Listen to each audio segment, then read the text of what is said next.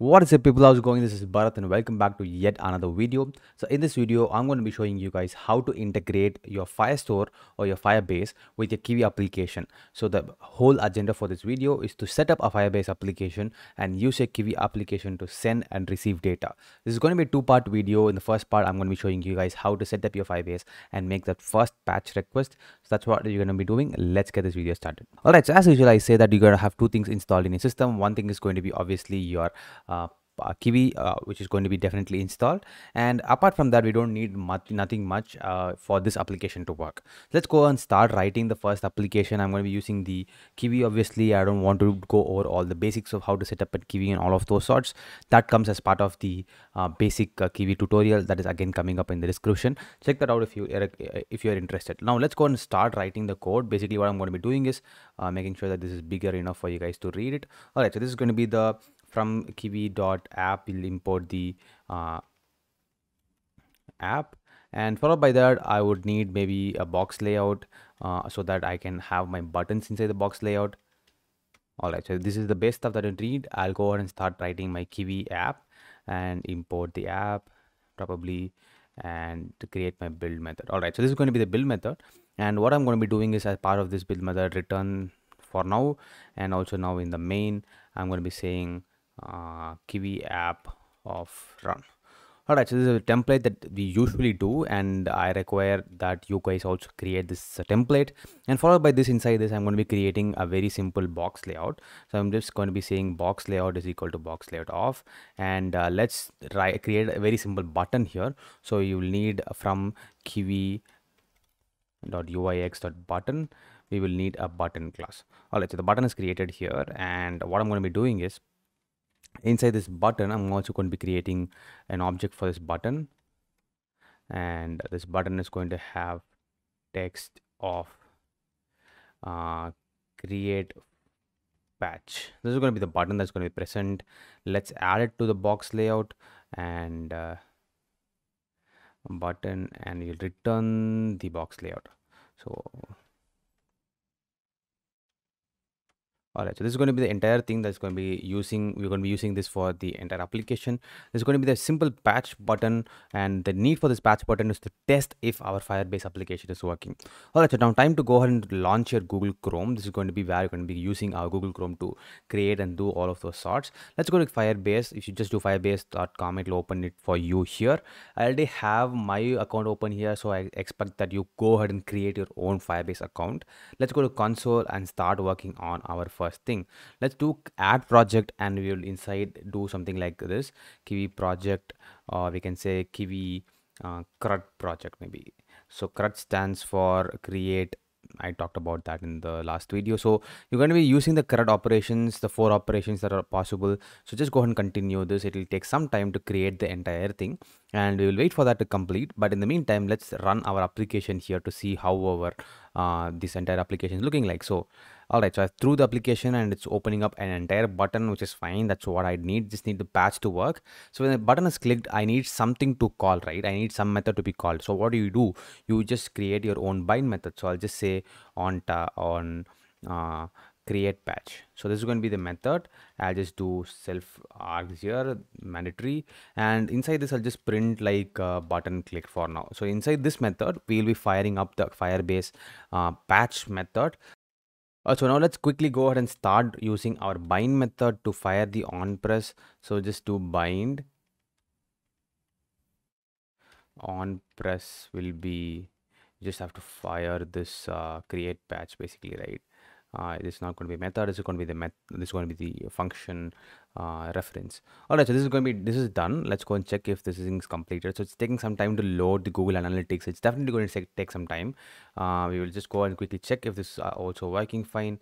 Should be working fine right? Not big thing.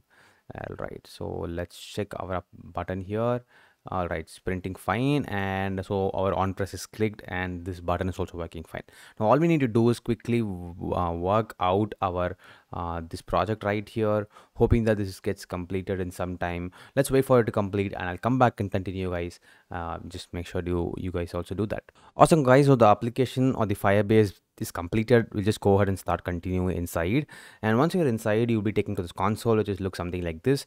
I've named it as kivy crud project. So what you need to do is go to your real-time database and not your firestore database. Go to your real-time database and click on it and it'll create our database from scratch. So this is how the entire application or the, this is how the screen will look like when you do it for the first time so go and create a database the important thing to know here is that as you go here you start in your logged mode and if you want to start in test mode that's fine but as you can see that it says how you must update your security rules within 30 days to enable long-term client read and write. So I'll tell you what is the difference between the locked mode and the test mode here.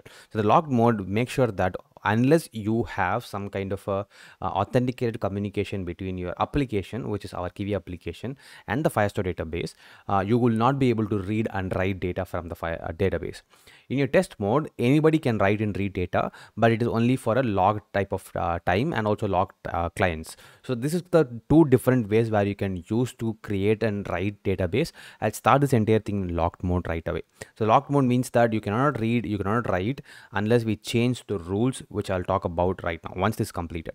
Alright, so this database is completed as you can see that it is given as a very simple URL wherein we can make a REST call and we are done with that. Basically, if you make a REST call to post some data, it's going to post some data. If you make a REST call to get data, it will read the data from that. So that's the whole idea behind this entire URL. So we'll be using this URL extensively right now. Let's go and first copy this URL, go back to our Kivy application, and I'm going to be calling this as my, uh, I'll call this as basically uh, Firebase URL, right? This is going to be the Firebase URL where you want to always make request. All right, so this is easy now. But one simple thing that you want to do is at the end of this slash, which is the uh, final uh, final uh, splitter, you just do dot JSON when you do dot json you're saying that i'm going to be making a request in a json format to uh, post put or delete data and uh, you can consider this entire url to be like a rest url making meaning that you can make it like a url kind of communication between our kivy application and a firestore application and you'll be able to read and write data. So that's the only change that you need to do. Just go back here and as you can see here that we have some nothing right away inside this uh, this basically this db this is going to be db that's going to be created on its own. You cannot control the db name and anything of that sort. Now go back to the rules page here or the rules section here and inside that it's obviously available that the read and write is actually not available. Nobody can do that. It's in a locked mode. Just change it to true in both these places. Just change it to true and we just publish this. And it's going to give us a warning saying that you if you modify anybody from the outside world whoever has this url will be able to read and write data to your database. If you want to do that you can go ahead and do that. Now what i'm going to be doing is that once this entire thing is completed i'm going to be del deleting this database primarily because i don't want people to start writing to this database and this firebase is going to bill me in the end of the month which i don't want.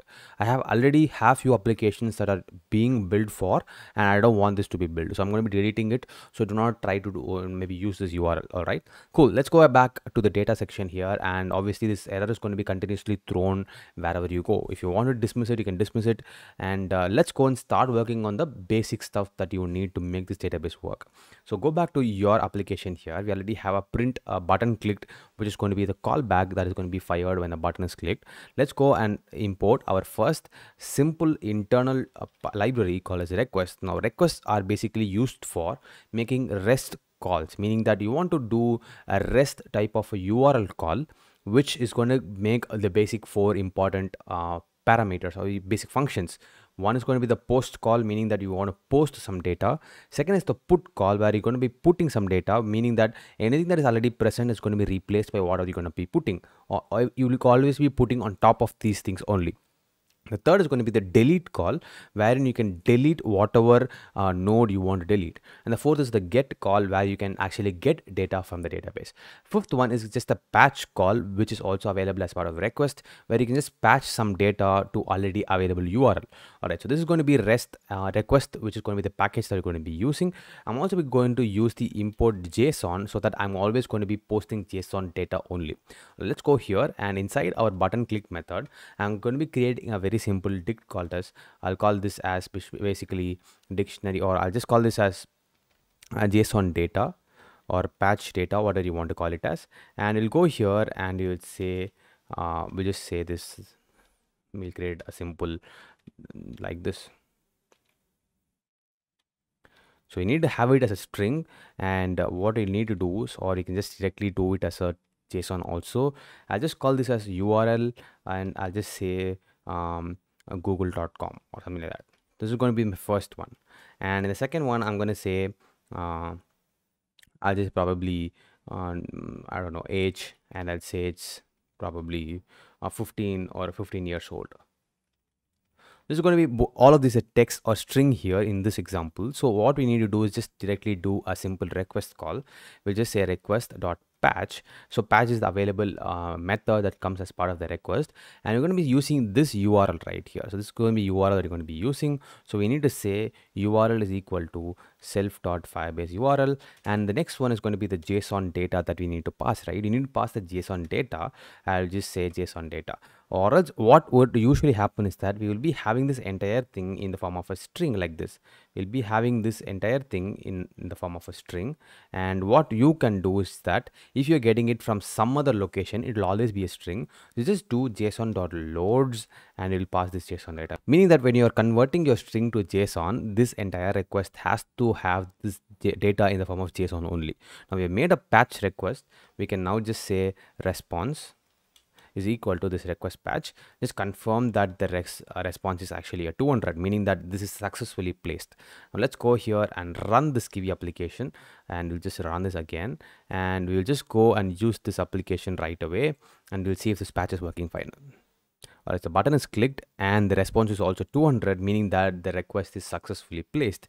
Now we'll go back to our uh, kivy application. And as you can see that this kivy.crud or this database now has two two data which is one is 15 years old it's going to be the uh, age and the url is going to be the google.com awesome right? Now let's go and now do something some, something different here. Let's say amazon.com and uh, probably we'll say the age is going to be um, 17 years old something like that. You'll see how the patch works here.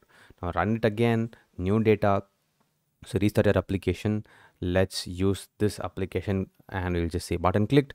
Response is 200 awesome. Let's go here and see. If you see here this that old data is now gone. It has been replaced by our new data that's the property of patch request.